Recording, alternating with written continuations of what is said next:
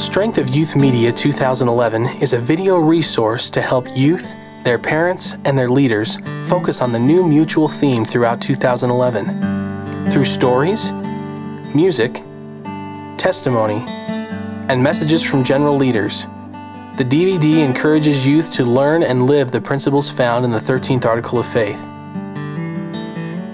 As a youth leader, the way you use this resource is really up to you.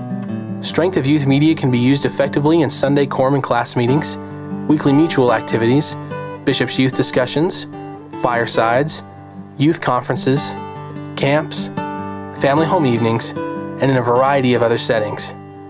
In addition to this program, other online resources are available to help you orient your activities and meetings toward the 2011 mutual theme.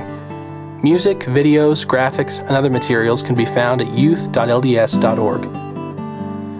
In determining how to best use this resource in your ward or stake, watch and think about each segment. Then, as you study and prepare for lessons and activities, identify opportunities to use the stories or messages from the DVD.